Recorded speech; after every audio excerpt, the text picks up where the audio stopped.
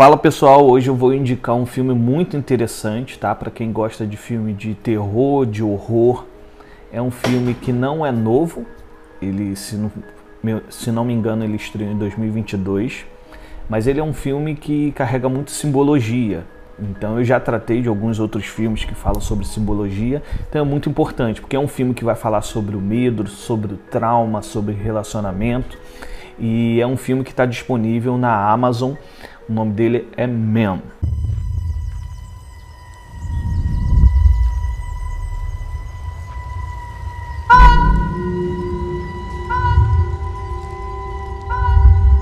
You're tormented.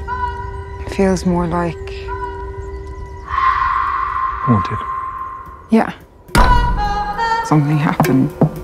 My husband went upstairs to our balcony and let himself go. You must wonder why you drove him to it. Bom, pessoal, esse filme ele é de uma produtora, a A24, que particularmente eu gosto muito dos filmes dessa produtora, tá? Quem não conhece, pesquise.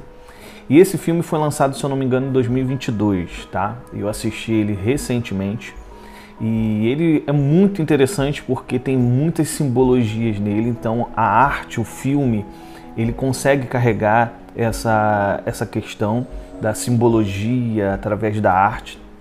Então, durante todo o filme a gente acompanha um personagem, a personagem principal, a, a Harp, que ela tem um certo trauma é, devido ao seu relacionamento ali abusivo, acontece várias coisas com o decorrer do filme. Você vai acompanhando a história completa. Eu não pretendo aqui estragar a experiência do filme, tá? Eu vou abordar alguns pontos, porque esse é um filme de muita experiência, muita sensação. Então vale a pena você assistir sem muitas informações sobre ele, porque você vai descobrindo coisas durante o próprio filme.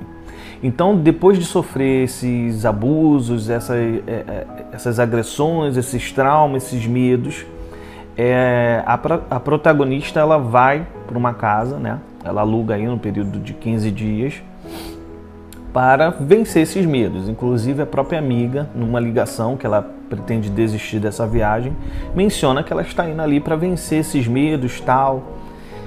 E ao chegar na casa, você já, já percebe que a pessoa que recepciona ela faz alguns comentários indelicados.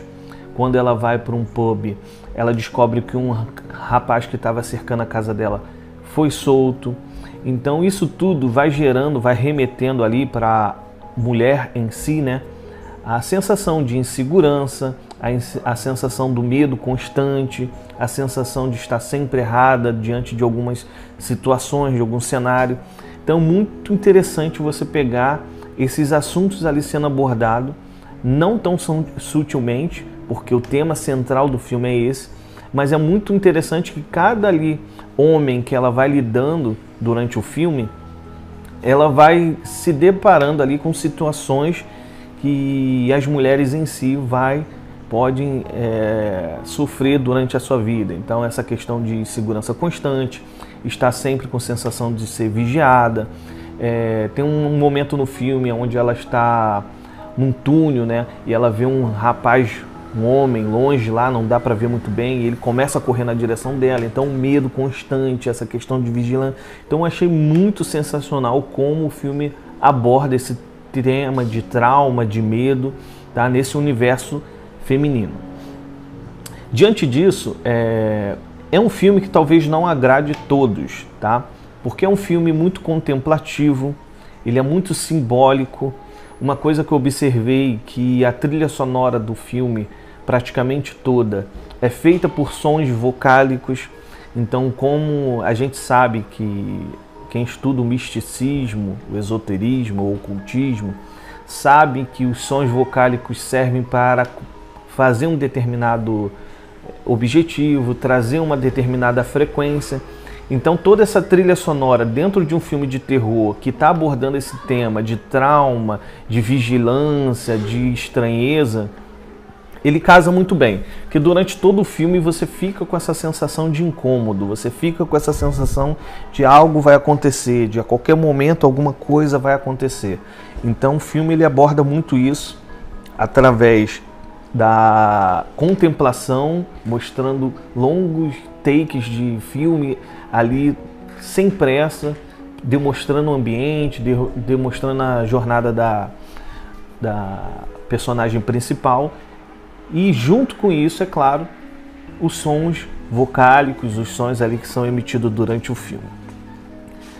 Então, ao chegar nessa casa, é, a protagonista vai andando ali pela floresta e acontece esse determinado momento que ela está ali em um túnel, onde ela interage e vê um rapaz de longe, uma silhueta e corre atrás dela. Então o filme aí começa a avançar nesse sentido. Depois ela vai tirar uma foto, vê um homem completamente nu ali parado, estranhíssimo. E depois ela percebe que esse cara está seguindo ela ali na casa dela. Então gera muitos é, momentos ali bem interessantes é, do filme, um terror mesmo, bem bacana, tá? E no decorrer do filme, ela continua sua jornada, ela encontra um garotinho que a xinga do nada.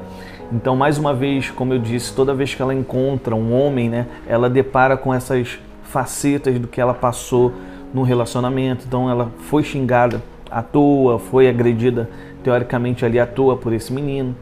E ali quem fica junto com ela, né, é o, um vigário, um padre, que diz que o menino é maluco para ela não se ligar tal. E é muito legal como novamente essa questão sutil gera muito incômodo, que ela vai ali conversar com o padre, com o vigário, né? E o vigário acaba tendo uma atitude ali que eu não vou especificar porque eu acho bacana vocês assistirem. E como esse detalhe tão pequenininho te gera incômodo, cara, olha o que está acontecendo, pô, bizarro, tá? E aí ela sai, manda o vigário se danar e volta para casa e vai acontecendo todo o ciclo aí durante o filme, tá? Chega no final do filme, eu acho que é um, o terceiro arco mais impactante, que é onde o filme mesmo assume ali toda a adrenalina, fica tudo bem mais rápido. É... E aí a gente descobre algumas similaridades ali nesses homens que aparecem no filme, que eu também não vou mencionar, que é bacana vocês descobrirem no filme, beleza? O final ele é bem impactante porque remete ali uma figura que aparece dentro da igreja. É uma figura masculina, feminina e tem relação aí com deuses pagãos que quase não se tem registro sobre ele, mas basicamente ali no filme está retratando justamente o masculino e o feminino. Isso não tem muito mistério. Mas o final ele é realmente impactante no sentido que aparece aquele homem nu com a face desse deus e ele começa a ficar ali é, grávido gerando outro ser e assim vai gerando esse ciclo de morte e nascimento ali de acordo com esse medo que ela tem. Então eu percebi que cada pessoa ali que vai nascendo e morrendo é como se fosse que ela já estava vencendo ali cada medo, porque cada homem que ela vai se deparar durante o filme é, remete justamente um desses traumas, um desses medos, uma das ocorrências que ela passou. Então um só xinga ela, o outro quer abusar dela, o outro gera insegurança para ela, o outro gera não sei o que. Então isso eu achei muito interessante. E no final mesmo, tá? É, o último a gerar esse esse ser gera justamente o marido dela. Então ele senta no sofá do lado dela, ela já está cansada porque já aconteceu várias coisas ali nesse filme e ele tenta culpar ela pelo estado que ele está ali naquele momento. E ela pergunta para ele que ela que ele quer dela. E ele responde o amor. E assim o filme acaba bem bem bem aterrorizante, bem gore, bem muito sangue, mu muitas cenas fortes, tá nesse filme. E a amiga dela chega, né, para socorrê-la e vê ali o carro quebrado, sangue no chão. Então quer dizer que aconteceu de fato aquilo, não foi tudo da cabeça dela. Dito isso, é, o filme ele tem um final teoricamente aberto. Então a gente não sabe realmente dizer se aquele ser era uma entidade que aconteceu tudo aquilo ou se realmente foi um trauma e assim ela venceu o trauma. Enfim, é, como o, eu vi em algumas matérias aqui, o próprio diretor mencionou que o final de fato é aberto, ele não quer encerrar nenhum assunto, ele deixou de fato aberto para qualquer um ter a sua experiência vendo o filme. Então eu acredito que nesse caso do final, ou o que quer dizer, fica bem aberto. Porém, o tema do filme ele é bem óbvio, tratar sobre medo, traumas e relacionamentos nesse sentido, tá? Então é uma indicação para quem gosta de filme com esse teor mais simbólico, com esse teor que visa um pouco da psicologia humana, tratando sobre medos, traumas. É um filme muito bom, com uma qualidade muito boa. Então eu deixo aqui a indicação para vocês assistirem, tá bom? Quem já assistiu o filme, né? Porque eu assisti agora, é um filme antigo. Deixa aí nos comentários o que, que você achou desse filme, qual símbolo que você achou interessante, o que, que você também percebeu que talvez eu ainda não tenha percebido. Eu acho muito bacana gerar discussão aqui nos comentários, tá bom? Forte abraço e até a próxima. Valeu!